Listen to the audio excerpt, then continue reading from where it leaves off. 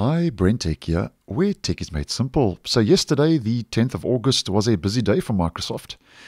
And they've also released a new Windows 10 version 22H2 optional update for insiders in the release preview channel, which is now also in its final stages of testing before it becomes available for the stable channel. And as mentioned, we can expect that to start rolling out in the fourth week of this month, August 2023. Now, the next optional bug fix update will be KB5029331. And over and above, including a couple of a good couple of bug fixes actually there are two new features now these aren't really standout features but microsoft does list them as new um, the first is that the update improves how windows detects your location apparently this is going to help to give you better weather news and traffic information. So that also rolled out for Windows 11 21H2. And because the two OSs are very similar, has now also been made available for Windows 10 22H2. So better location coming in the next optional bug fix update.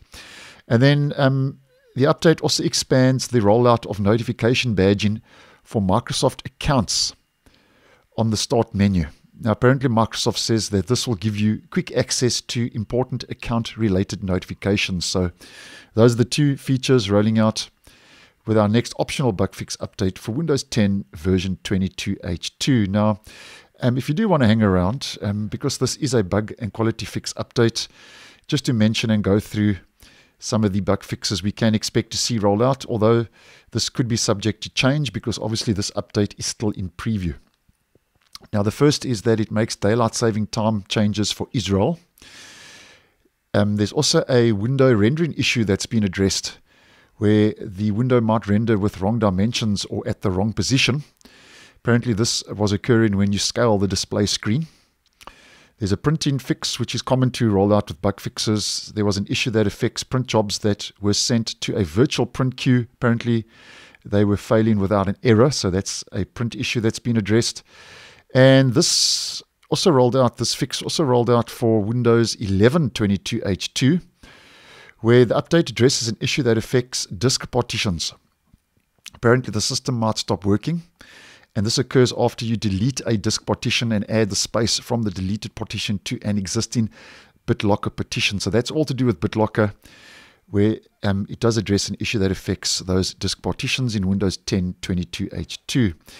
Uh, moving on, and this is our third last mention for today's video. The, uh, this update addresses an issue that affects remote desktop sessions. Apparently, they were disconnecting when multiple apps were in use.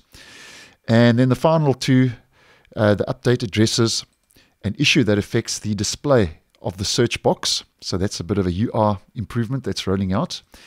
And then the update, if we just head over quickly to our accounts page, and our sync your settings.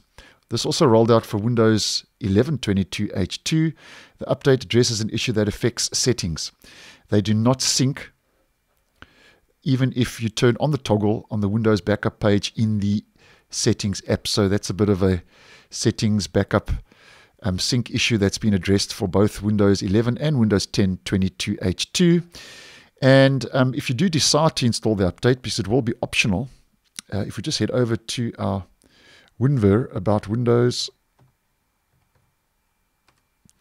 currently the stable version of Windows 10, the OS build is currently on 19045.3324. And if you do decide the, to install the update, that point release will be bumped up to 0.3391 or somewhere in that vicinity. So thanks for watching, and I will see you in the next one.